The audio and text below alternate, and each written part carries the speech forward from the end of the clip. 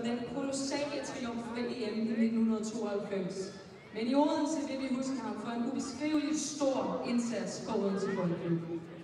Det var Richard Møller Nielsen, der satte en ny standard for professionalisme i dansk fodbold. Og i OB skabte han en ånd og en kultur, der kan mærkes den dag i dag. To danske mesterskaber og en pokaltitel er kun en lille del af arven efter Richard Møller Nielsen.